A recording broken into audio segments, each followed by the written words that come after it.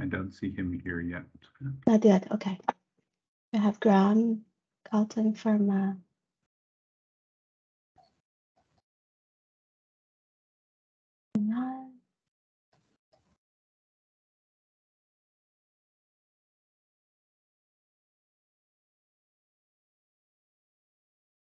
Please let me know when we should start. And just a quick note, the meeting is being recorded. Okay. Thank you. When should we have our cameras on? Um, your camera is very blurry. Is that, yeah, Dale uh Dale, do you see Dana it's a bit blurry. I agree. Yeah. Okay, let me see if I've.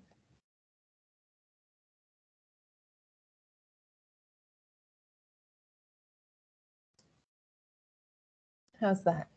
That looks like a bedroom though. Dale, maybe it's some special effect.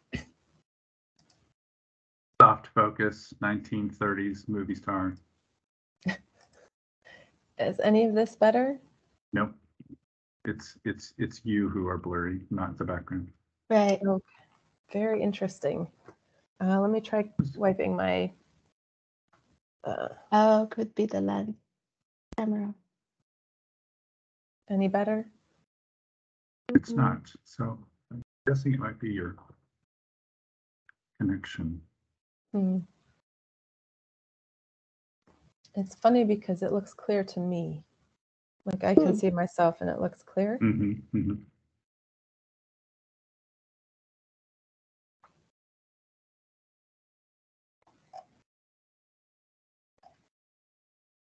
Perhaps it will sharpen up.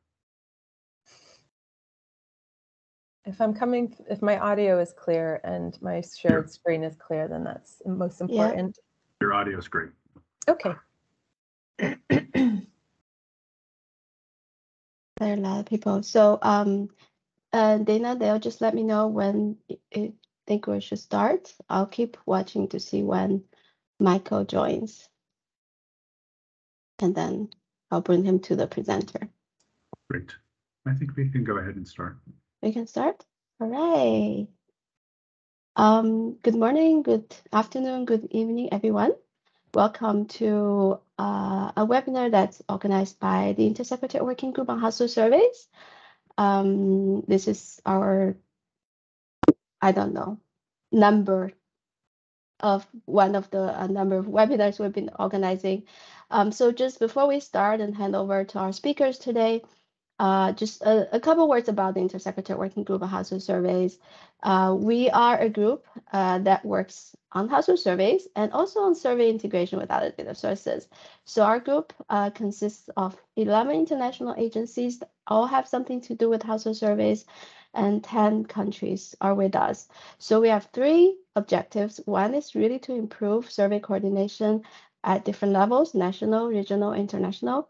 And the second is really to uh, promote and encourage innovative survey approaches, uh, approaches in household surveys. This is why we're here today. We have uh, Dana and Dale and other speakers with us. Uh, because this is a really interesting area that that I think uh, really fantastic for people to understand better what's behind.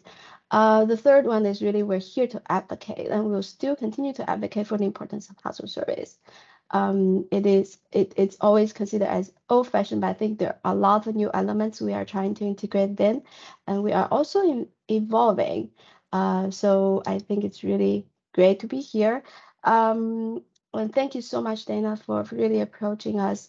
And it's really a great honor to have you and other speakers with us. And I open, so I invite everyone to look at the manual. So it is, uh, I revise the link uh, link to the so the, the I can also yes post uh, can I have a copy to post the uh, the link to directly to the manual uh, I opened it and I thought okay let me just have a quick look. I've seen the earlier version and I just couldn't stop reading it. It's so nicely done. It's so different from our the way how we used to write our menus so I think we I mean we're gonna learn from you. It's really I cannot stop reading it really. It's so nice um, with that, uh, I would like to hand over uh, to Dale, who is going to moderate the session. And it's all yours. Great. Thank you so much, Haoyi. Uh, It's, it's lovely of you to say that you couldn't stop reading it. That's great. We're, we are very pleased with how it looks um, and of course with the content. So welcome, everyone. It's a privilege to have a part of your morning today. We're really delighted that you've chosen to spend some of it with us. We um, plan to give you good uh, value for your for your time. So thanks thanks for tuning in. We hope that you'll be pleased that you did. Um, I'm just going to give you a thumbnail sketch of where we're going and then turn it over for, to Dana for the first presentation. So our our outline today, if you haven't seen it already, is to have Dana Thomson uh, begin by um, covering sort of a big big the big picture of what is gridded population sampling, who uses it, and when might it be appropriate. And uh, today, as Haoyi Haoyi was saying, it's a today is the sort of we're considering it the uh, official launch date of this new manual, which was uh, sponsored, underwritten by the Bill and Melinda Gates Foundation. Um, it's there's a corresponding website. Dana, I don't know if you've put it in the chat or not, but it might be great to put it in the chat. And um, we wanted to have a chance to let you all know that the manual is there, it's freely available, that we're hoping that it will be not only um, a resource for you to use, but perhaps a resource to which you contribute. There's a, a section of uh, tutorials there that you can use to make a customized manual, and we hope that some of you will contribute to updates to some of those tutorials or additional tutorials. So we're hoping to begin to foster a community of practice, and we would be delighted to engage with some of you who are interested in participating in that and who have ideas about about that as well. Perhaps Dana will will touch on that as well. Um, so we're gonna. Um, Dana is the author of the manual. I'm its editor, and we're going to hear from several other practitioners today. From Sarah Ford from the U.S. Department of State, and from Michael Imohi from the, um, Nigeria's National Bureau of Statistics. We're going to hear about their experiences conducting gridded population surveys, and um, then we'll have a time for questions and answers at the end. So um, do go to the website, grab a copy of the manual for your um, own purposes, and uh, please share um, this with friends, let others know about it, and uh, then we look forward to engaging with you um, both today and, and over time. So without further ado, I'm going to introduce my friend and colleague, Dana Thomson you know, um, Dr. Dana Thomson and her, um, the focus of her research is identifying populations who are underrepresented in household surveys and other data and developing tools and protocols to improve population data accuracy. Um, you know that uh, household survey methods were established a long, long time ago, and uh, in some respects haven't haven't changed, and especially in low and middle income countries. And Dana's research is focused on methods to address um, decay in the accuracy of the surveys due to social shifts that modify household configuration and behaviors over the last four decades, including urbanization and uh, increased mobility. So Dana's helped pioneer the field of gridded population sampling, and this this new manual is uh, really terrific milestone, I think, in her contributions to the field. Um, a key component of improving survey accuracy is mapping deprived versus not deprived urban areas so that um, heterogeneous urban populations can be stratified in survey designs and can be reached not only by the survey teams, but by subsequent policies and interventions. And so toward this goal, um, Dana coordinates the IDEAMAPS Network, which is an initiative that integrates slum mapping traditions in order to map deprived urban areas routinely and to map them accurately at scale across countries and her work there uh, includes evaluation of gridded population data set accuracy in cities and in slums to improve um, SDG 11 monitoring. So without further ado, here is Dr. Dana Thomson to talk about gridded population survey. Thank you so much, Dale, for that. I'm going to get my screen up.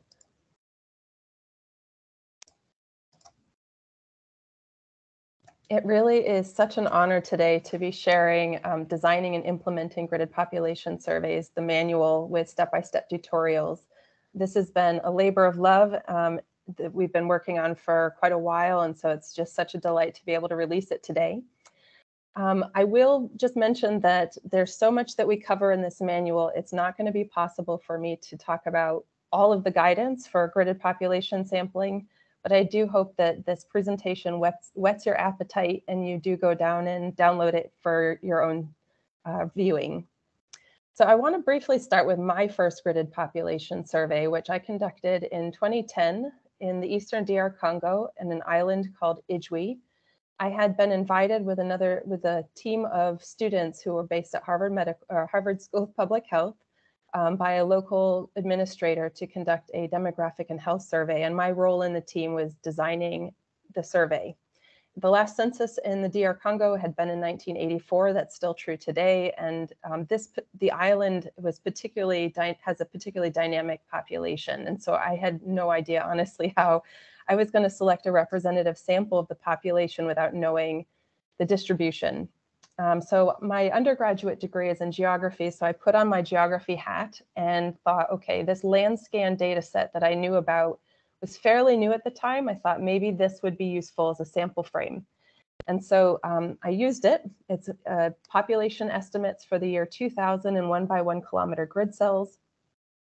Um, I was able to select a representative sample of clusters and I was able to look at those clusters over Google Earth imagery. I was able to segment the cells and create um, sensible boundaries for our field work. And we printed paper field maps based on Google imagery.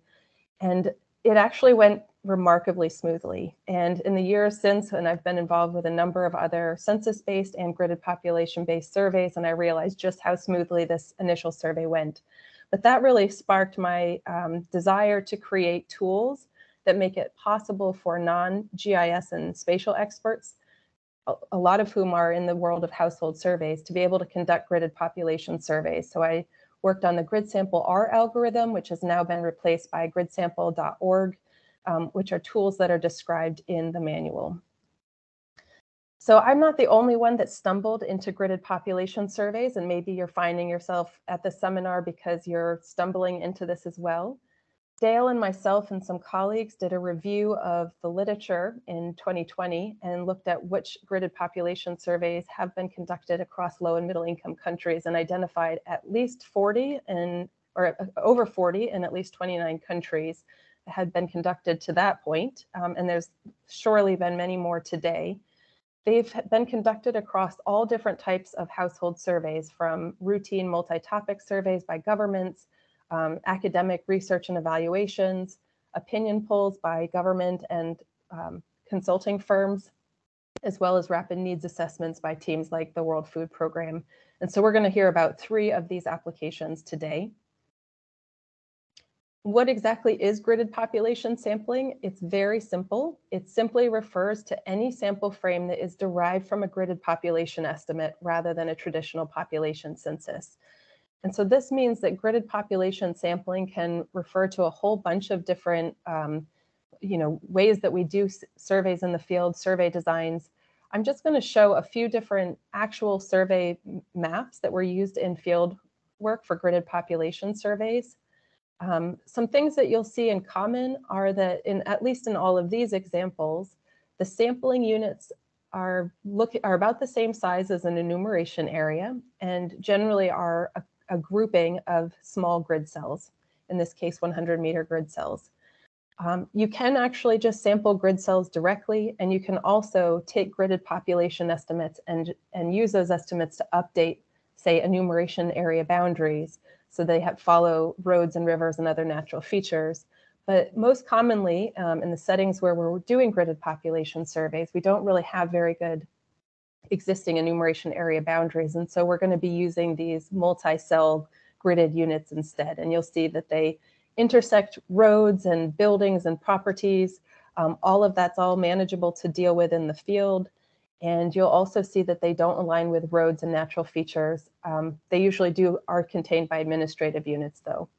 So teams of all different backgrounds and skill sets of different survey designs have been able to implement gridded population surveys across contexts. So check out the manual. It's available here on this website. Um, we try to make it as concise as possible. It's a printable PDF. We also have tutorials there, as Dale mentioned. You can filter through the more than 25 tutorials that we have now based on the survey step, the skill set of your team, or the survey design that you're using.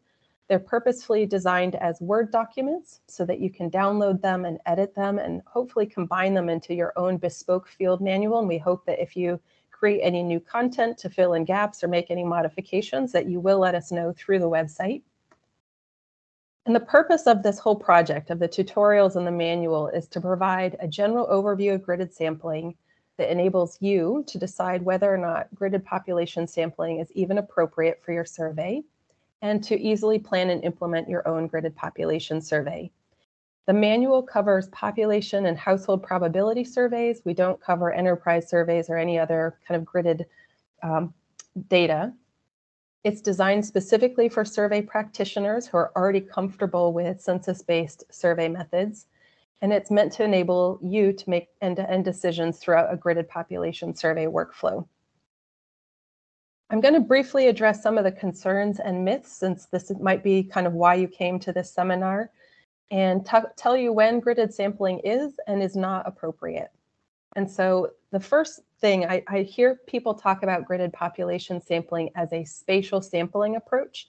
And I just want to underscore that this is not spatial sampling. This is population sampling based on population estimates.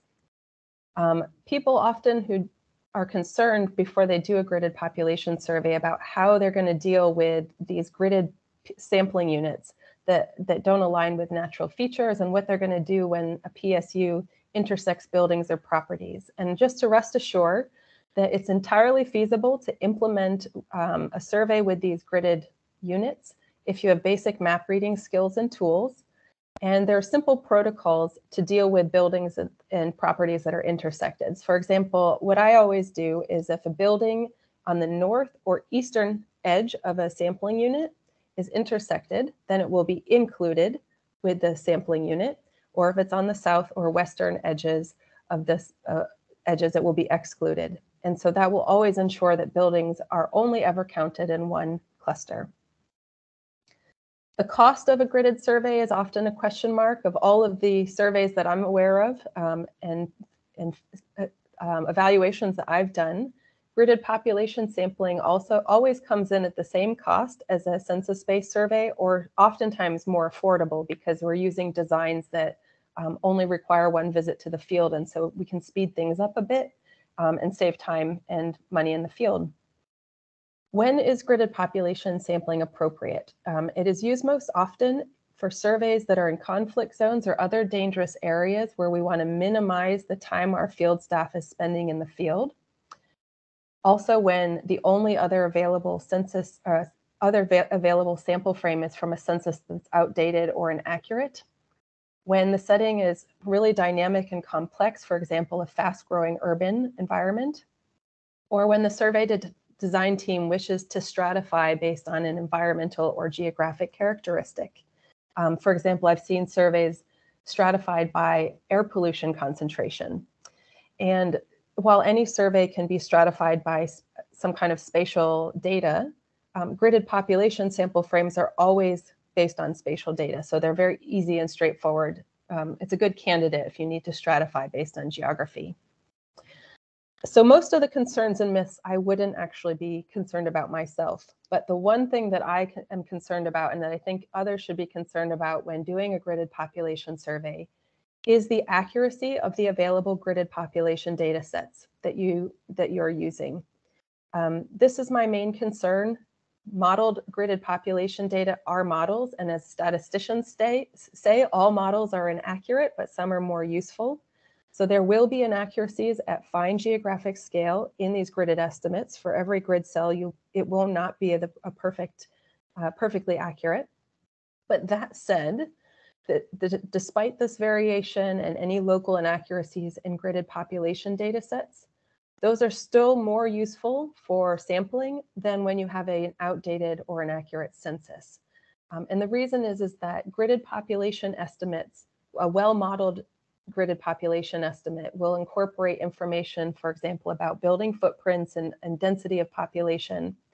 And you'll get a correct distribution or a more or less accurate distribution of the population in areas where there's been new settlement or new growth in a way that you wouldn't in an outdated or inaccurate census. And as long as that distribution is accurate, you can still draw an accurate sample of the population. And so this is why um, those the desire it's desirable to use a gridded population sample in settings with an outdated or inaccurate census.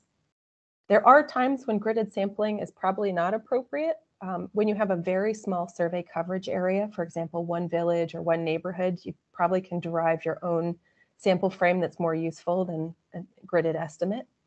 Uh, when the sample team doesn't have reliable or electricity or internet, for example, in a conflict zone, or the survey team is really unfamiliar with the most basic mapping tools, for example, Google Maps or Google Earth, then you probably don't want to use gridded sampling because to create the sample frame and draw samples and create maps for your field team, you need some basic internet and some basic mapping tools like Google Maps. Also, if, if a census was recently conducted and it's publicly available and widely trusted, there's really no reason to do a gridded population sample. You, you'll want to do a standard census-based sample because those field referenced data are always going to be more useful and reliable and accurate than a model data set. So I want to provide some guidance around which gridded data sets you should use for gridded population surveys. Um, there's unmodeled gridded population estimates where data are directly disaggregated from census administrative boundaries to small grid cells. And then there's lightly and highly modeled um, simple algorithms and advanced statistical models. Basically, you want to ensure that your a, a good gridded data set is either lightly or highly modeled and incorporates a data set like building footprints, which captures very fine scale population distribution fairly accurately. So we do not recommend the use of an unmodeled data set like the gridded population of the world by CIESIN um, at University of Columbia. And until recently, Landscan Global, which is produced by the US government, and WorldPop Unconstrained, which is not constrained to settled areas, were the these were the only available gridded population data for many of the last um, 15 years. And so a lot of the existing gridded population surveys have been conducted with these data sets. Um, so they are viable in a certain way for surveys. They've been used before. But in the last two years, there's been a number of new gridded population data sets and a huge evolution um, in available data that's come online. And so there's a whole bunch of new gridded population estimates that are even better and that I would recommend for um, use in household surveys and other field-based work.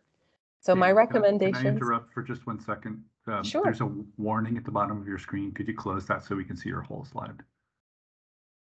okay, um, I don't see that warning. Uh, Teams, Microsoft.com.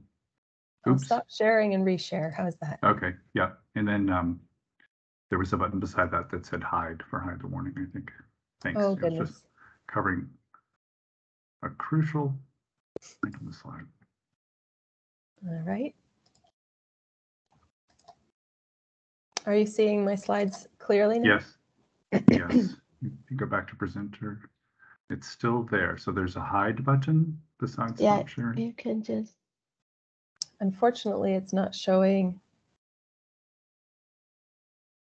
Okay, Is it's, that better? that's perfect. Oh, brilliant. Okay. Um, And back to the data sets that, yeah, Yeah, no great, problem. The data great. sets that I, I do recommend um, are the human, the high resolution settlement layer, which is produced by Facebook or now Meta. The global human settlement layer, which was just recently re-released by the European Commission at 100 meter uh, scale and is amazing. The World Pop constrained to settlement data set. Um, this model in Africa uses building footprints, but building footprints are not available outside of Africa. So I would only use that data set in African countries. Um, and then Landscan HD just hot off the press, and also Grid 3, which is still always coming out with new country level data sets.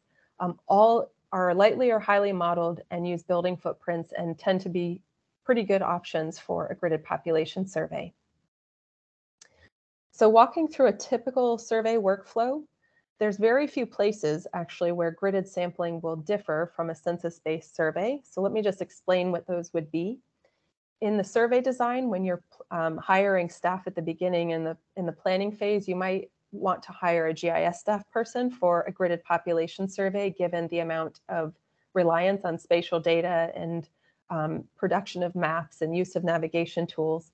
But that said, there are definitely teams that have done gridded population surveys without having a GIS person on staff. And so it's possible, and we provide some guidance in the manual about that. Um, the sample selection is where the main differences are with a gridded survey. You'll use different tools than your typical census-based sample to create a sample frame and draw your first stage sampling units. You'll also likely want to aggregate or uh, segment sampling units that either have far too many households or far too few households when you observe them in satellite imagery. Um, and so you'll want a GIS person to hopefully help with this. An alternative, if you don't have a GIS person, um, is to create a backup sample and then randomly select from your backup sample when you drop a sampling unit because it has too few habitable buildings in it. When you prepare for field work, you need to produce field maps, either paper and or digital maps, um, and you'll need to manage some spatial data. And so this is where the GIS person becomes quite useful. Your field team will need to learn how to do some basic navigation with apps on their phone or using paper, printed paper maps to get to the PSU and to move around within the PSU or the primary sampling unit. Um, I recommend that the field staff also mark up paper or digital maps if they observe roads or buildings that are different than the map maps that they're provided. Um, that just helps with accuracy on your side and you'll need your supervisors to be able to monitor any of that spatial data coming in. So for the most part, that's actually where the divergence between gridded population sampling and a typical census-based survey ends. Like from there on out, the survey is exactly the same you design your questionnaire, you evaluate your questionnaire before you go to the field, collecting data, calculating indicators, etc., are all the same. I have highlighted the calculation of sample weights is possibly different. Um, the sample for the sample weights formula is exactly the same. It's just that in a gridded population data set, you have population estimates, and often you're using household counts or estimates in your formulas. And so you need to use like an average household size to translate population into estimated households. So those are the only differences that you will expect. The manual for simplicity talks about six survey designs that are available for gridded population sampling. The first four are ones that you will be familiar with and can be done with a census sample frame. Um, so design one is a typical multi-stage sample where you do select small areas, you do a detailed listing of households, and then sample those households. Design two is essentially the same thing. It's just that the detailed listing is replaced by a very quick listing where um, there's no interaction between the listing team and households, and you assume that front doors of dwellings and apartments um, are the same as equal one household, and that you just list the front doors. Not it's not recommended, um, but it does get done in practice. Design three is a two, uh, two-stage sample. You select small areas, but you do the sampling of households in the field using some kind of random walk technique. And design four um, is doing a building simple random sample using a tool by Epicentre. I don't have time to go into it now, but definitely check out the manual if this is of interest to you it's a, it's a way to um, reduce time in the field and be able to do all of your work in one field visit. The last two designs are only possible with gridded population sample frames, and that's because we use the small grid cells to as part of the sample frame. The first is an area microcensus where you interview everybody in a small area, usually defined by a grid cell. And the second one um, is a type of, of uh, quota sample, which I'll talk about in a minute. I just want to briefly mention beforehand that we have scored all of these designs based on accuracy, precision, and affordability using a, least to most desired scale. And generally speaking, most survey designs are equivalent in terms of balancing these things um, it's, it's in some way. But the last design, the area micro, the two-stage area microcensus design, we think is actually does a better job than most survey designs in terms of balancing accuracy, precision, and being affordable. And if you're still trying to wrap your head around that, um, the national statistical agencies or academics tend to value accuracy and precision. That's why they often choose design one with a detailed listing. Whereas a rapid needs assessment or polling firm um, really values having an affordable, quick turnaround time. And so they might um, value design three more and, and use that instead. And I just want to, again, emphasize that design six is worth looking at. Um, this maximizes overall accuracy, precision, and affordability, and I'll show you an example of it in just a second. So here's a map that you saw earlier that could have that could be used in any of these first four designs. It's a um, typical sampling unit of 100 to 250 households. This is an image of a grid cell that has been sampled and then segmented along a road um, and this would be useful in a one-stage area microcensus design where all of the households in that very small area would get included. And this might be 10 to 15 households. And here's an example of what a two-stage area microcensus sampling unit might look like. Um, generally, it's the size of a typical enumeration area with at least 100 households but it's segmented by the original grid cell, usually 100 by 100 meter grid cells, and those cells are ordered at random. So in this in this example, the ordering starts at 140 as the smallest number. And the process is that the interview team goes directly to the field. We don't do a listing, they go directly to the field and they interview all of the households in that first cell. And if they meet or exceed their target uh, number of households per sampling unit, then they stop. But if they haven't, then they go to the next cell. And so that this case, it would be 141. They interview all the households. Um, again, if they meet or exceed the target households, they stop.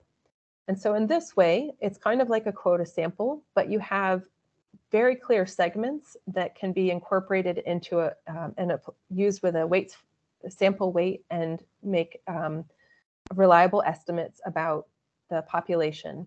And so it's a, an excellent um, designed to use if you need to do one visit to the field. It's been used um, very successfully by World Food Program, which is the first team I've seen using this design. So I'm just about done. Um, i know I'm getting close on time. Just want to say that for each of these survey designs, we spent a lot of time detailing the design itself. We provide a sample weights formula that helps you to translate that population count into households and deal with any other um, specifics to that design. And we also, for each design, provide a real world example where you see the toolkit that was used by the implementing team and the skill level of that team. And with that, I'm going to put a pause on it, but feel free to reach out to me, um, email through my website, on Twitter, um, or be in touch at gridpopsurvey.com. So thank you so much.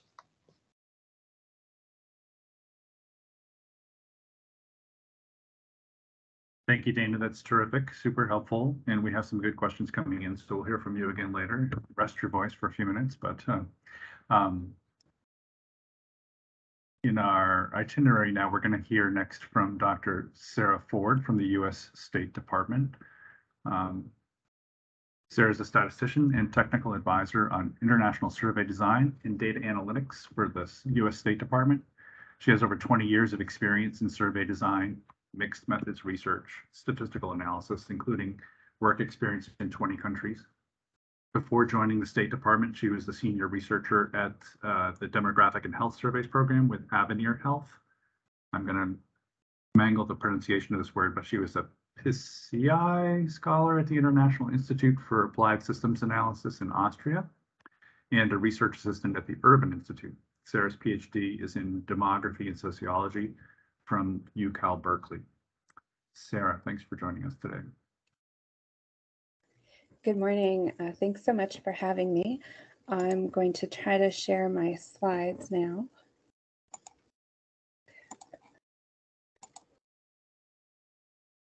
Are those visible? They're coming. Yes, we see them. Thank you. Could Okay, you also, great. oh, you got it. You got the little thing at the bottom. Thanks. Thank you. All right. Um, good morning. It's a pleasure to be here and to share results of work on gridded population sampling in Uruguay conducted jointly with Matthew Kerwin. We both work in international survey research at the State Department, as was mentioned. However, the views I'm expressing today are my own and not necessarily those of the US government. This talk is a brief overview of a study that we conducted in late 2019 and is based on an article that we recently published in our personal capacities shown here. So I think after Dana's really excellent talk, there's probably not much need for uh, motivation for the study, um, but just to say that when we're dealing with rapid international face-to-face surveys, you know, whether it's for health, humanitarian, public opinion purposes, there are a number of sampling challenges that we face, such as the ones that are shown here. This certain, list certainly is not exhaustive, but these tend to be compounded by the lack of time for a pre-enumeration process of the type that you might see in a major household survey. At the time we planned our study, gridded population survey sampling appeared to offer a number of advantages that Dana just discussed. However, we could not find literature comparing what we as survey researchers were ultimately interested in, which is really the accuracy of the results derived from an open source gridded population sampling approach compared to traditional census-based sampling. So we designed a survey experiment that I'll briefly describe. Turning to the methods, it's a little bit difficult to test, right? Because rapid turnaround surveys often study outcomes like health or public opinion that really fluctuate over time. So if we run two public opinion surveys side by side, it can be unclear which one is closest to the true population parameter of interest.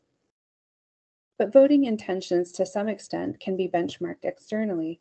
So we set out to find a good case study we wanted to work in a country where they had free and fair elections, such that an opinion poll might reasonably predict the outcome.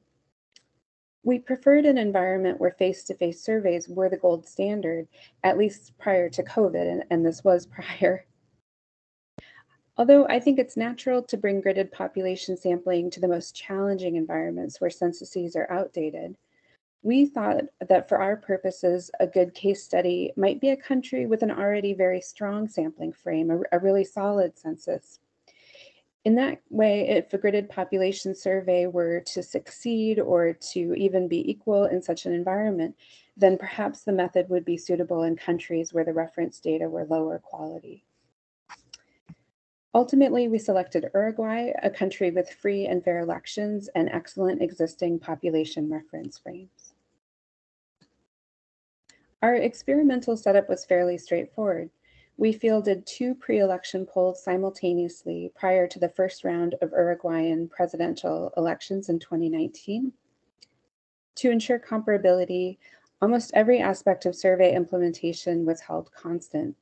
We used the same reputable firm uh, to work with for both studies. The questionnaires we used were the same. Uh, even the professional interviewers overlapped between the two studies as much as possible. The only major difference was in the sampling strategy. One was census-based, which I'm calling traditional, and the other was a grid sample. Additional implementation details are shown here, and I'm, I'm happy to share more in Q&A. So at right is the population surface that we used for Uruguay, which is from the WorldPop program and contains very high resolution population densities.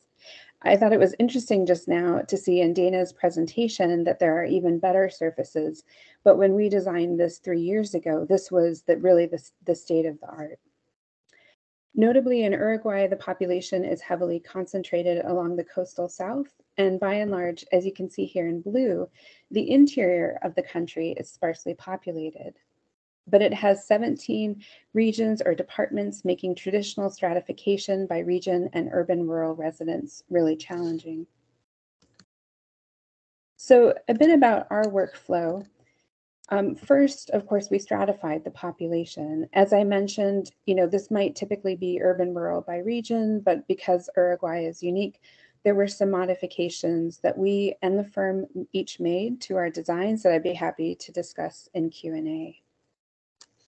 Once we had our custom strata, we wanted to use the R package, but gridsample.org offered some power of supercomputing that made it a lot faster. And so we chose to upload those to gridsample.org to create and list single cell units to our specifications. And then I use that program to customize and draw a randomized sample of clusters from each stratum with probability proportional to the estimated size that was modeled from that surface. And something I want to emphasize about this process is, you know, of course, the technology underlying grid sample and the WorldPop surfaces and other surfaces is relatively recent. But the overall approach for us was really similar to a stratified two stage randomized sample design that you might find in a major household survey like MICS or demographic and health surveys. However, within each selected cluster, we chose the random walk approach. We did not do a pre enumeration, and I can provide more details on the implementation. But then for both surveys, I created weights using a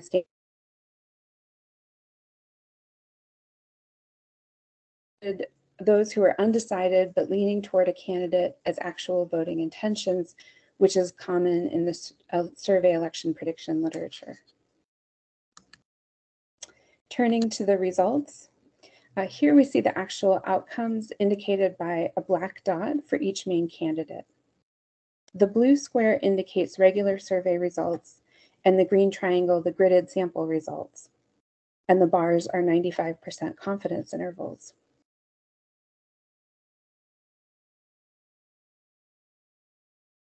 From the Broad Front Party won first place with 40% of votes, while Luis Lacalle Pou from the National Party was runner-up with 29%. Two other candidates shown here placed over 10% of votes, and then candidates that placed under 10% were grouped together into other. Uh, just as an aside, because no candidate won an outright majority, voting proceeded to a runoff election, but that's not part of our study. So broadly speaking, the results between both surveys, um, you could probably see looked quite similar, but which one performed better? Well, there are many ways to compare accuracy of results from something like elections, and we use three classic approaches. First is the accuracy at predicting the winner, and that was 40.5%. Here we see that both surveys overestimated the vote share, but that the gridded sample was slightly closer by 0.3 percentage points. However, both the traditional and the gridded population sample survey contained the true result within their margin of error, so we counted this as a statistical tie. Second, we might look at the margin between first and second place, and the actual result was 11%, and the gridded population sample got a bit closer to that result. Third, as survey implementers, we often look at the root mean squared error of estimates. And in this case, the gridded population sample was slightly lower than the traditional sample. So in sum, um, while you know it was not overwhelming, but the gridded sample really performed slightly better on two out of three metrics and then tied on the third. I'll share my perspective on challenges and advantages um, having tried this method now for the first time. First, at least in urban areas, you know, the census-based sample um, clusters were almost perfectly bounded by city blocks. And I think that was intuitive to the interviewers. Whereas, you know, in the gridded sample, there were often partial blocks in cities, there were cutouts. And while it was ultimately fine, um, it did pose some challenges when interviewers were sort of used to circling the block for a random walk. But when Matt and I went out and walked, you know, the test clusters with the interviewers, I could actually see how well that they could look at the satellite image, look up at the roof, at trees, at, you know, other landmarks, and they could tell exactly where they were and where they needed to turn around. Then I recommend that samplers draw at least a few extra backup clusters in each stratum in case of error in grid cells, and then randomly select which ones to try first. In our case, despite a satellite review of all of the satellite images, there were two clusters out of 100 where we ultimately had to substitute.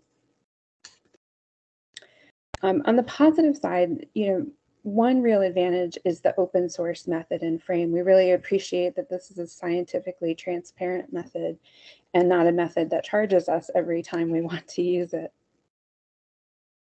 Then this native GPS enabled approach, uh, first it more easily enabled the firm to pre-review where interviewers might walk and where they might travel to. And then it also allowed the firm to audit the interviewer paths more easily where they actually walked. And as we know, interviewer discretion is itself associated with survey error, so that seemed to have advantages. And while we, you know, implemented both surveys at the same time, we certainly expect improved speed in many contexts. So in summary, our gridded sample survey performs slightly better than a traditional sample, even under conditions that were, I think in relative terms, nearly ideal for a census-based survey. Of course, we cannot universalize from a single case study, but to me, this is a solid proof of concept that gridded population sampling is a viable alternative, particularly in light of the other advantages of gridded sampling. We still hope to test it and hope to learn from other testing in other contexts, but it appears to be a promising approach for rapid surveys in low and middle income countries writ large. Thank you, and if you'd like more information, here's the citation to the article as well as how to contact us. Thank you, Sarah. That was crystal clear, super helpful. I can see already that there's one question. We'll come back to you later, but Carolina Dunavaro at WHO is asking if you compared the costs of those two methods. So um, do you want to address that now or do you want to wait for, why, why don't you just go ahead?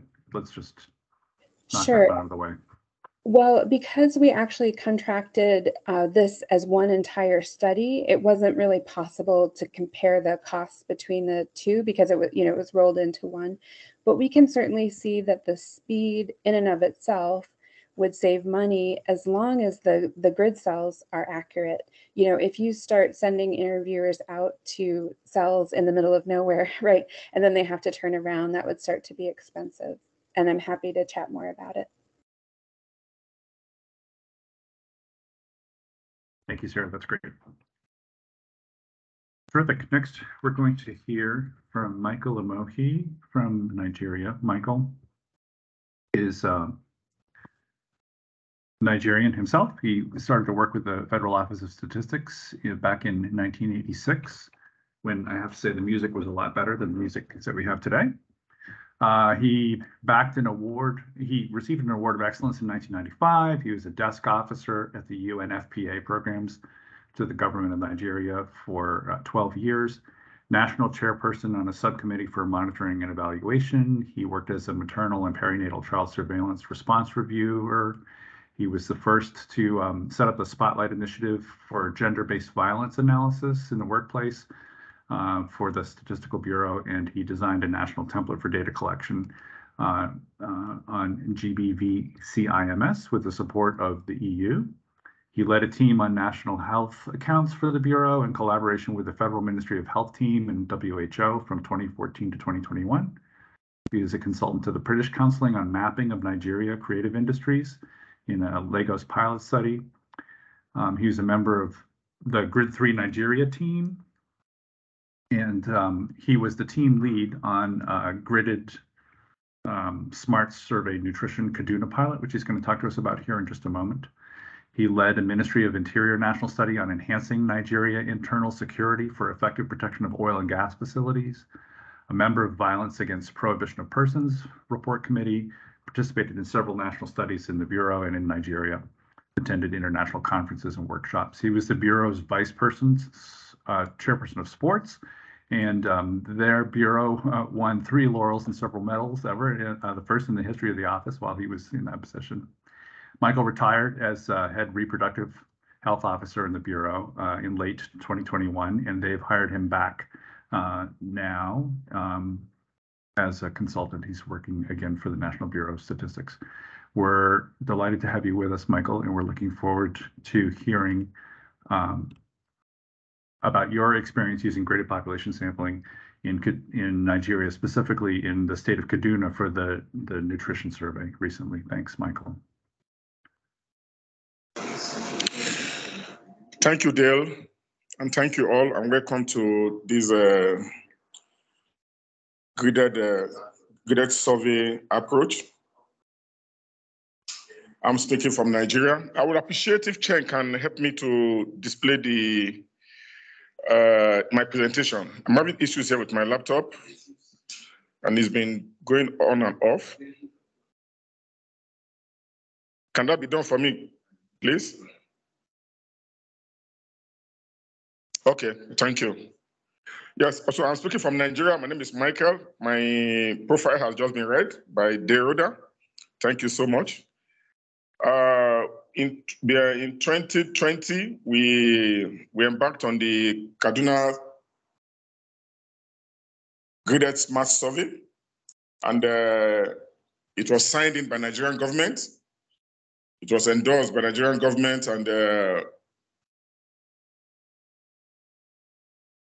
Cerebinion Life, the DG Cerebinion Life, uh, Dr. Kana, was also a member of the team, and he was the one also running the Nigerian Smart Nutrition. So, and uh, other states, other uh, stakeholders like the NPOPC, the National Population Commission, National Planning, uh, the Bureau of Statistics itself, uh, Kaduna State Bureau Statistics, and other stakeholders were all involved. Minister of Health, CBN, were all involved in the assignment, and they all took part from the beginning to the end. So the presentation outline, the presentation uh, outline are as follows.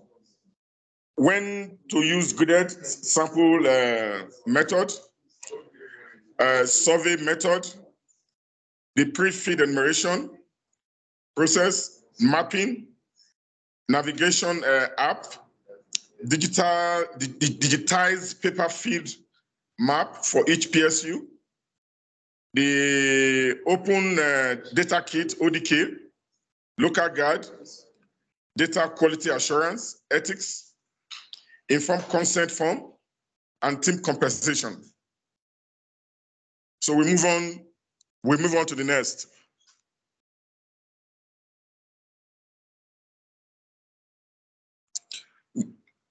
To the next, please.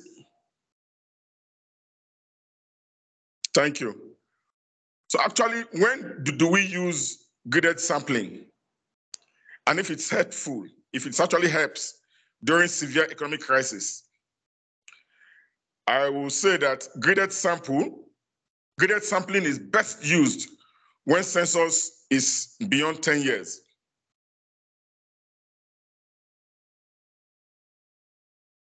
And uh, during severe economic crisis, graded method is best used.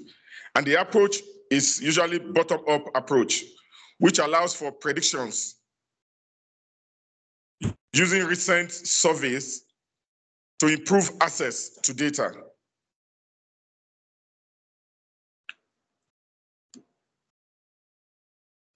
Comparison within Smart Pilot and Survey in, in, in Kaduna the, the methods that were used. The graded approach, that is uh, gridsample.org, is a geospatial modern GIS application used to select probability pro proportional to size PPS sample.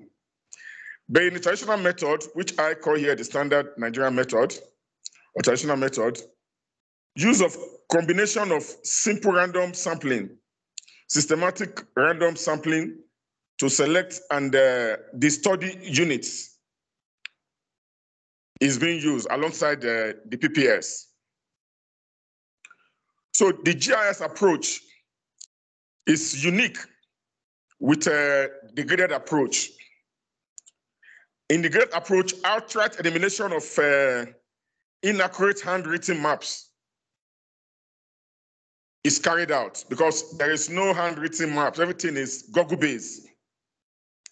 But in the traditional approach, the handwritten maps were being used, the hand-drawn maps were being used, and which leads to inaccuracy in the in the PSU, in the sampling, uh, in the in, in the field of survey. And uh, the area of coverage, or fact, that the acute area, is 100 by 100 meters, and it's unique to all the enumeration areas. But in the usual enumeration area, the output area varies based on residential and uh, and it's and it's uh, subject to to updating. And uh, when you get to the field, and mo mo most times when the population is not enough, you start doing adjoining EAs. You combine one or two EAs together to now get the expected population that you want to canvass. And uh, in the area of imagery, all elements within the location are captured if you are carrying out uh, the graded approach. All elements within the areas, within the location of the survey are captured since it's Google based. And uh, we are, if, you are, if, if we are onto the traditional method, establishments in the EA uh, map, the one that is hand drawn, you will be capturing establishments uh, by sector, household, institutions, mosques, and others. But in the imagery, roads within the areas are boldly, are boldly captured. All the elements within the, within the enumeration areas is being captured using the graded approach. Can we move on, please? Yes.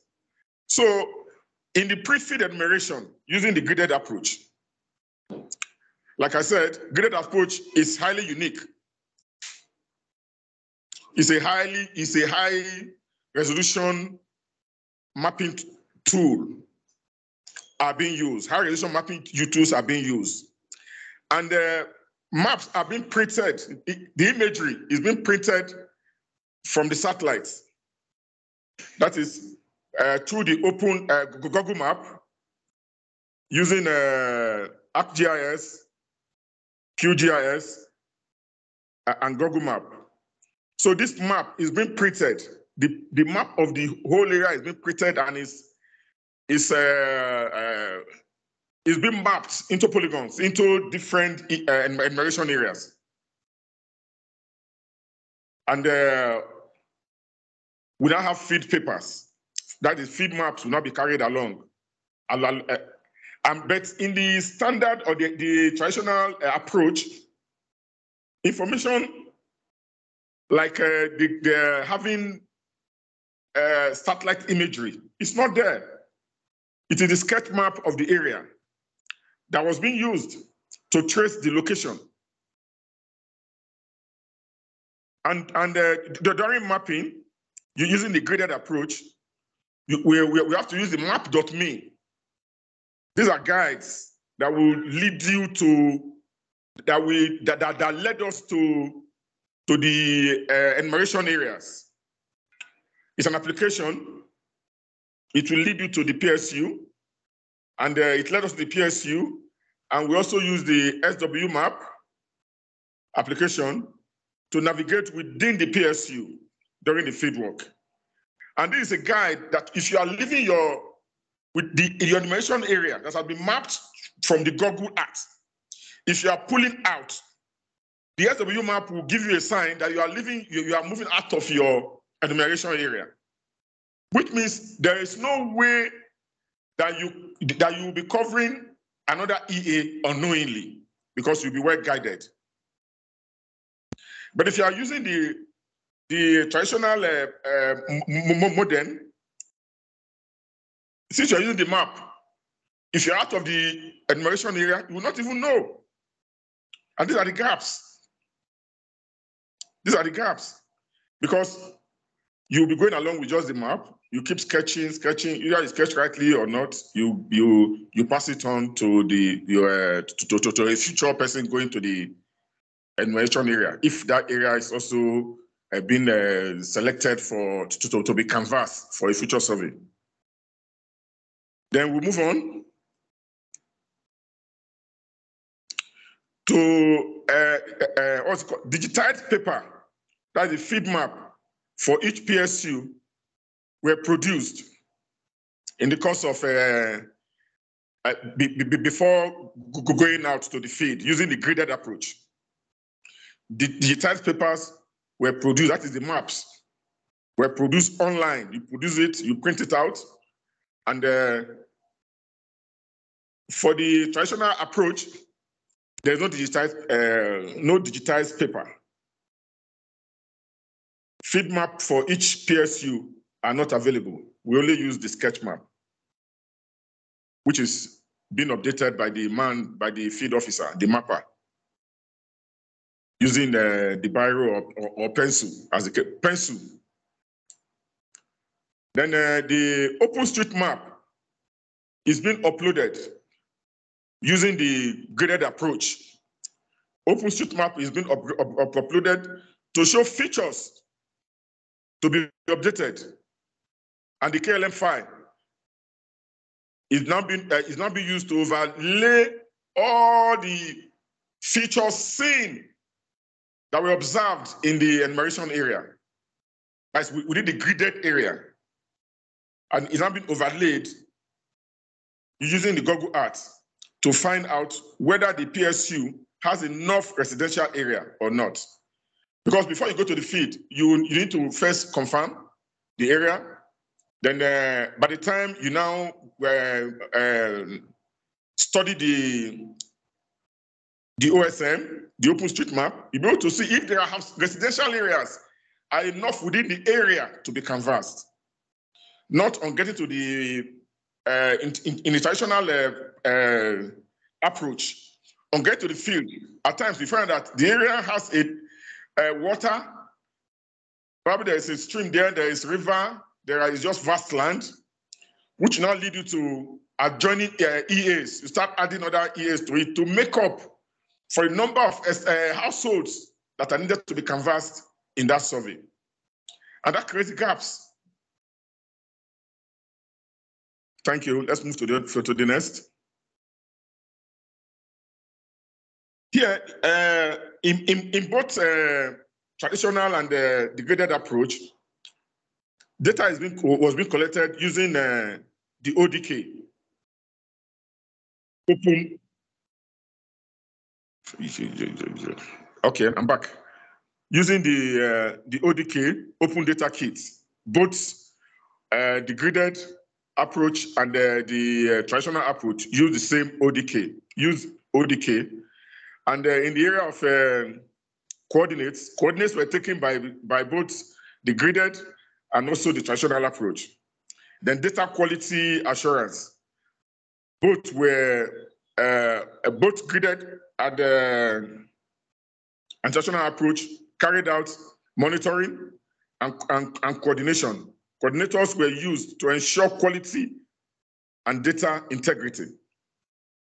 So independent monitors also were also, also also came to observe what happened in the field, and they also wrote their report to assure quality and, and data integrity.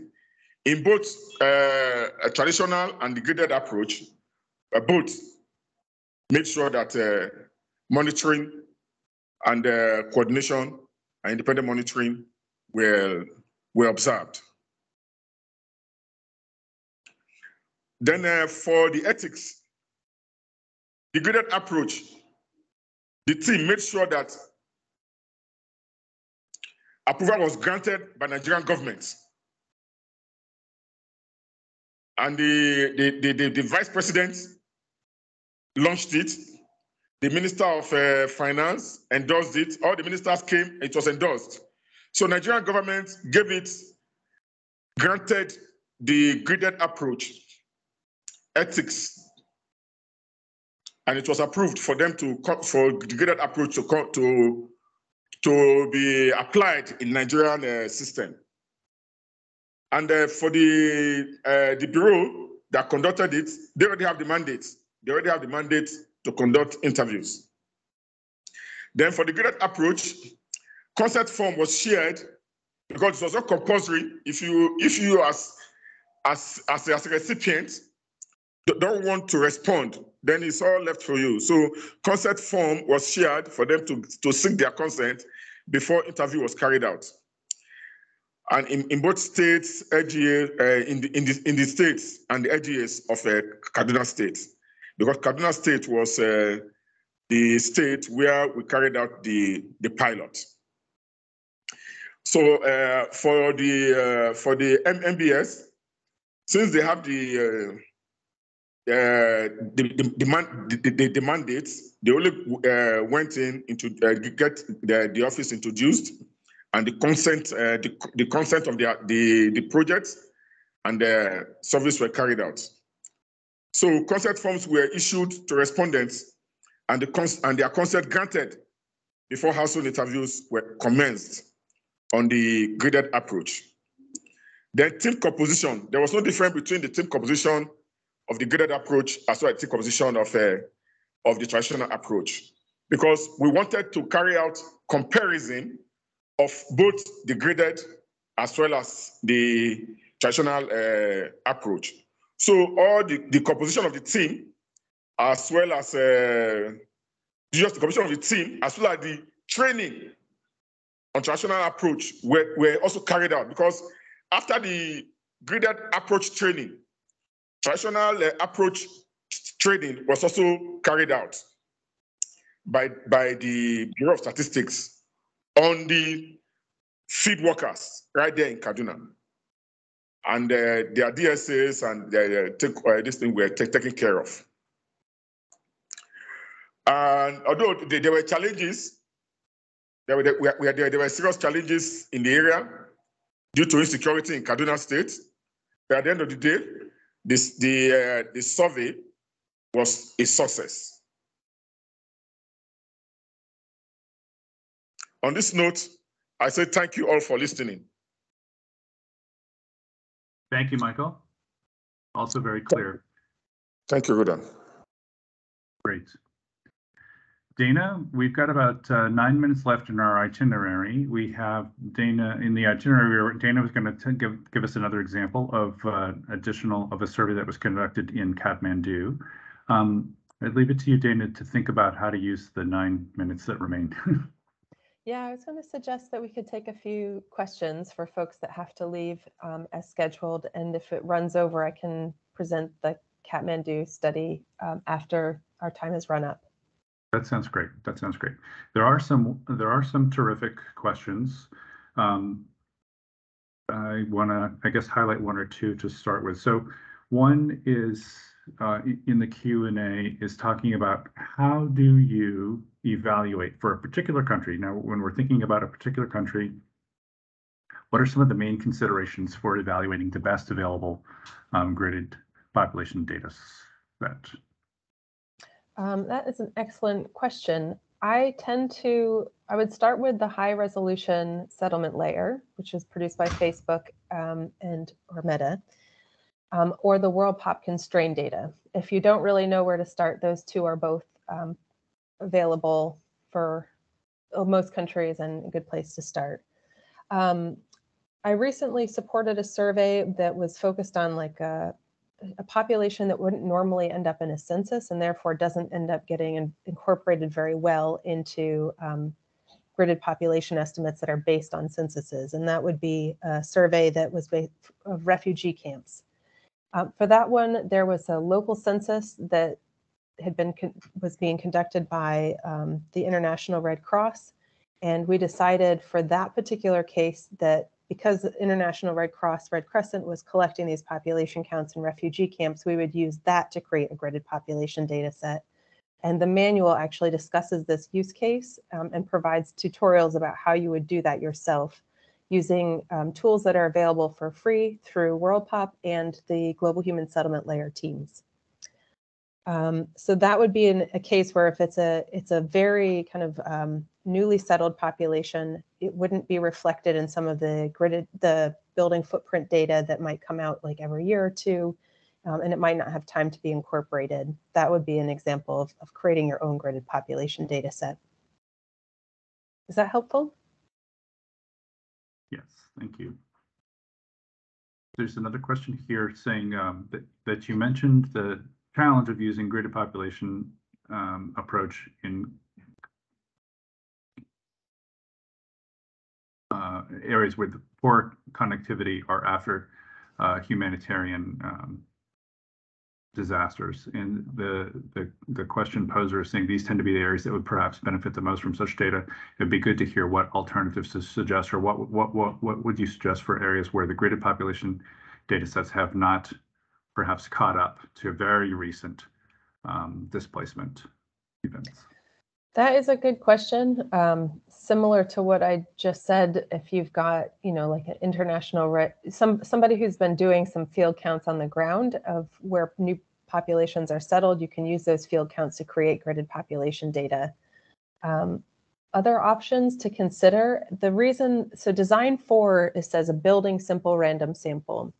Um, and this was a tool, this is based on a tool that's created by Epicentre um, to do building simple random samples based on Google Earth. So if Google Earth imagery or some of the other um, publicly available satellite imagery is capturing the displaced, like the, you know, the landscape after an event has happened, which does, you know, usually that data actually does become available in short time because um, they know that teams will need to respond um, to the a disaster, for example, after earthquake or a hurricane or something like that.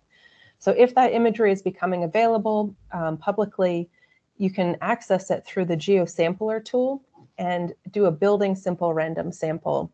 Um, and there's guidance again provided in the manual about how to translate a building sample random sample into a population random sample um, by asking a few questions about the number of buildings per household and number of households in each building. Um, that would be a good option. That would be a good sample design and set of tools to use um, in, in a case of like a very recent displacement. Terrific, thank you. I'm to give you one more question and then uh, we'll actually, yeah, let, us just say a, a, few words to people who would want to learn more and where to go for resources to learn more from now. So obviously the manual is launching today. You should go to the manual website and download that. That contains, uh, as up to date as possible, here on September 28 in 2022, discussion of uh, data sets and recommendations. We acknowledge that things are going to change moving forward that will will as i mentioned at the top of the call we want to create a community of practice we want to have that website be a place where we post updated resources and recommendations dana do you have other suggestions or what's your what's your guidance for someone whose appetite was whetted today what should they do next Yep, so check out the document itself. Um, also check out any of the tutorials. So the what's great about the gridded, what, what I think is great about the manual, and Haoyi can jump in if she thinks this as well, but there's decision trees to help you figure out what is your team's skill level um, and what is the survey design that you want to use. And then given some of those parameters, which data sets you might use for a gridded population sample, um, and then links to the actual tutorials that you might wish to use um, in the field for implementing your survey. So we do try to provide very clear a string of guidance um, and that manual is a good place to get started. There are sometimes people who are fairly new to the world of household surveys in general. Um, the manual is not designed to be a, a, an overall orientation to household surveys. However, we do have an appendix that brings you to some very helpful resources that are publicly available um, the demographic and health surveys, the multiple indicator cluster surveys, living standards measurement surveys, the World Health immunization surveys. All of these big survey programs have created some remarkable resources to get you started. And so you can go consult those and then come back to the gridded manual if you are complete novice. um, And I will say we were changed. I was changing uh, guidance about which gridded population data sets are available and should be used as late as a few weeks ago because That's there's new data coming online all the time. Um, I think COVID has really propelled us to think about, you know, using big data. There's just a lot more available computing power now, et cetera. And so the building footprints data, the settlements data, the population gridded, the gridded population data derived from those, et cetera, are all under massive developments right now um, by many different teams in the private sector, public sector, academia, government. So we will see uh, better gridded data sets. And as those become available, we can try to use this gridpopsurvey.com website as a space. Um, and then Dale and I have dreams of also starting maybe some sessions at future global conferences where we can actually meet face to face or you know connect online in a professional space and share our experiences um, and our own you know guidance based on all the questions that have come up. So um, please stay tuned to that website. It's at least a good launch point to figure out where we can meet and, and continue fostering this community of practice. And just want to say thanks to everyone who's um, joined us today and i'm happy to stay on a few more minutes and, and offer the presentation from nepal if that works for Haoyi.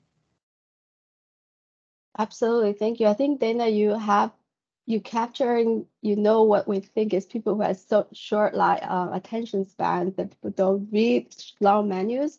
Really encourage everyone to go read the menu, and it's really fantastic and great to hear that you are updating the sources. You are going to continue to update. So many of the people here will be go heading to Data Forum next uh, in April next year, and also the ISI in Canada, all the Ottawa, Canada uh, 2023. I think these be fantastic opportunities to really um, share share what you have right now. Uh, just if you allow me one minute. Um, so our group really facilitates exchange of experiences, innovative approaches. We're there to connect with all the innovations uh, from one side to another, countries, academia, researchers. So we're a platform that really facilitates that. This is why we were here today. If anyone's interested to be on the mailing list, we only bother you once a month uh, with the events, new resource training opportunities, new guidance and available that's related to hazard surveys. We are really set, sharing that with our stakeholders and a larger community. So please let me know. And lastly, uh, so our group had been working on a position paper. It's called Positioning Household Survey for the Next Decade. And it's just uh, recently being published and also endorsed by our uh, entire group to use that as a blueprint for us to move forward. And so sampling, of course, is one of the priority areas that we would like to move toward. So if anyone's interested in the paper, uh, let me know. Thank you. Hand over to you, Dana. Great. And I'll try to make this short and sweet. Give me a second to share my screen, sorry.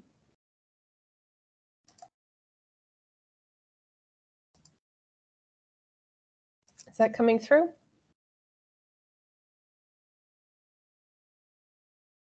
Dale, is that something you can see? Not yet, no. Okay, Not yet. second.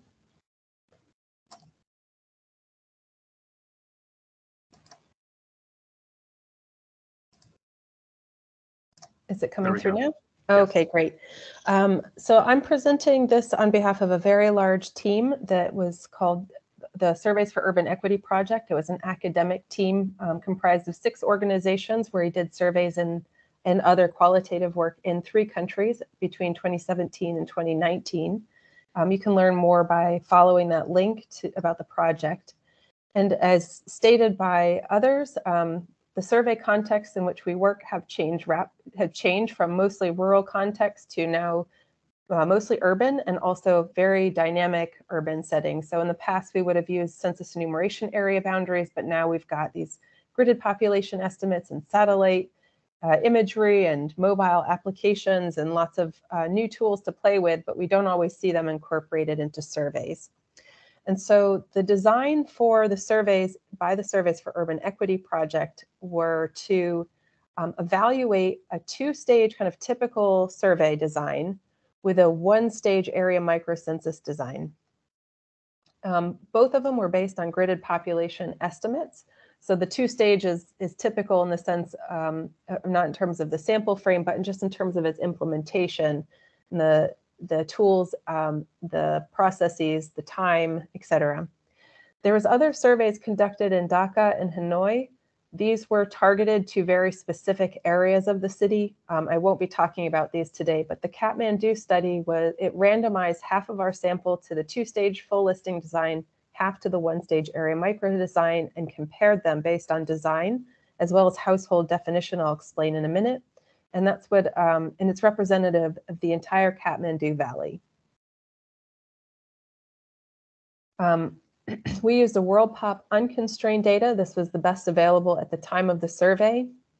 And we used the grid sample R algorithm that preceded gridsample.org. We sampled 30 clusters for two stage and one stage. Um, we had to replace a few of them and we also had to segment a few of them. When it came to, we did a full household listing um, in the two stage. And in the one stage, we visited each area and made sure that the um, roads and buildings were updated in OpenStreetMap. And, but we didn't do a household listing because in one stage area microcensus, you essentially list on the day of interview.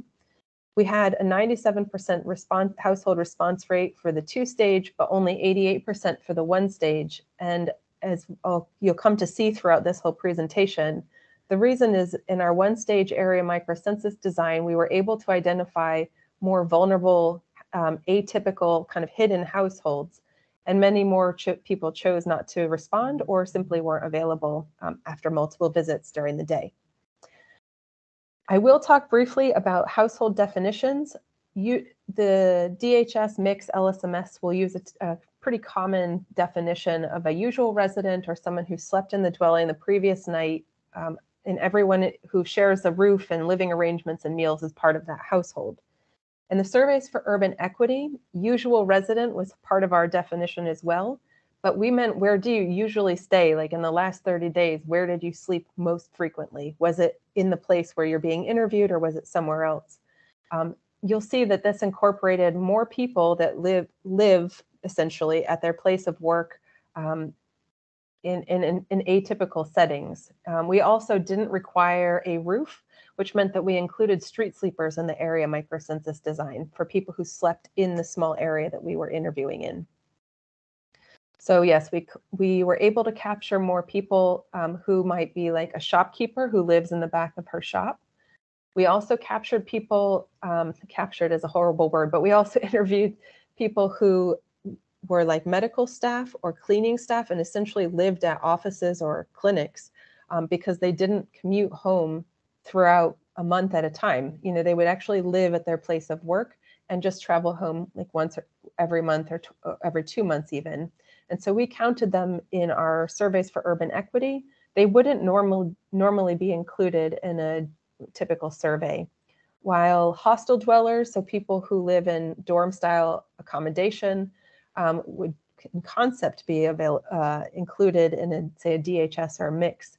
Often they're not in practice, but we made sure that they were included. We also included people who stay at guest houses long term. Um, more than 30 days, I think was the definition we used. And this is all reflecting that these the housing crises that are faced in many cities around the world, especially the fastest growing cities in Africa and Asia. There's just not enough housing available. People live in all sorts of new types of arrangements, um, and it's increasing proportions of the population, and we're just not maybe not collecting data from them. Um, the way that we see this play out in the results. So here is a here's the distribution of our sample by a couple of different indicators. Um, there's a paper reference at the end. Go check out the paper to see all of them. But you'll see that using just um, a typical DHS definition, so not the surveys for urban equity very loose definition, but our standard definition, you'll see that the two sample designs pulled out different populations. Um, we had smaller households and more households, multi-dwelling, sorry, multi-household dwellings in the one stage household, reflecting more hidden population, um, more single adults, more single moms with children, and more uh, non-family type households were showing up in that one stage design. There weren't necessarily differences in terms of migrant status and slum status, and I'll talk about that in a second. Um, and the differences between a typical two-stage design using a typical kind of DHS or MICS household definition with the one stage area microcensus design and our kind of broader definition of, of who is in a household um, for the surveys for urban equity, you see even greater differences. Um, we definitely picking up more single adults and non-family households in the one stage design. A very interesting result that came out of this study was that um, the one stage area microcensus design, as expected, had larger design effect or more similarity between near neighbors um, for demographic characteristics related to family type or marital status, employment, um, or age sex. But we were actually finding smaller design effects in the area microcensus design when it came to socioeconomic indicators. And the likely reason is we were picking up more of these hidden households and a lot more um, heteroge heterogeneity was showing up in these very tiny little sampling units of, you know, the guard who lives in the shack out back or the the person who lives in the shop um, on the high street and is also not doing very well. And so you you found a lot more economic diversity in the one stage design, which was something we didn't necessarily expect, um, but didn't surprise us when we did find it and is of very big interest for these highly dynamic, fast growing cities like Kathmandu. To summarize some key findings, um, the one stage area microcensus design identified more single adults, more single mothers with children, and more non family households. The households tended to be smaller, so more individuals. Um, and the multi household dwellings were more likely to show up in our area microcensus sample because we were able to identify these hidden households. Um, there more variability in the social economic characteristics per sampling unit. And again, the reason that this is all happening is likely that when our interviewers are going out and spending a lot of time with each of the households that they interview, and then they're going immediately to the next household and the next household in a small area, they have time to build rapport with residents and they're able to discover those hidden households that you wouldn't find in a normal listing activity when you just are briefly at a building and asking who lives here. Um, the answers that you get are always the people who are registered in a formal housing like uh, apartments or or households and not necessarily the hidden informal households. Neither of these uh, survey arms did a very good job at capturing slums or informal settlements and this is reflective of a problem that we see across household surveys that dale kind of mentioned as one of my to topics of um, work at the at the top of the hour we don't have a good way to stratify urban spaces, which are super heterogeneous. We have no way to stratify slums from non-slums or deprived from non-deprived areas. And this showed up in, in the surveys for urban equity studies as well. Um, and it might be related to why we didn't see huge social economic differences based on sample design or the household definitions, because we did expect actually that, you know, if you were able to stratify by slum, non-slum and able to do an area microcensus design, it would be your best bet of finding hidden, deprived, um, vulnerable households. So we need to stratify based on deprived, not deprived areas. And a few of you had questions around cost. So this is a this is a bit of a theoretical exercise because like um, Sarah's survey, we actually implemented the two-stage full listing and one-stage area microcensus design at the same time by the same teams. So the cost was just, a, it was more of an estimate here. Um, but this was the estimate we came up with, with the cheaper for the area microcensus design because we were spending less, less on mapping and listing. Um, in this case, that's just where we went out to those areas and did a, an update to the open street map of buildings and roads. These costs would probably get eliminated altogether in other area microcensus designs. And um, we had you know, much smaller sampling units. So you're spending much less time in the field moving around um, in, in between different households. So that's why the costs were lower in the one stage area microcensus design. All right, that's the paper and the link if you want to go check out the full study and more details on the results. And thank you so much again for joining us today. Great. And I just want to conclude uh, how, how we should have started the time, which is um, expressing our gratitude to the Bill and Melinda Gates Foundation for, first of all, recognizing the need for this manual. They approached us about writing the manual rather than the other way around, which is so often the case. so often the, it's the, the other way around. So thanks to the vision of uh, Io Blair Fries and John Vanderhyde for commissioning this work and underwriting it. Thanks, everybody. Great to see you all. Take care. Bye-bye. Thank you. Thank you for joining us. Thank you, Dana, Dale, Sarah, and Michael for the great presentations. Mhm.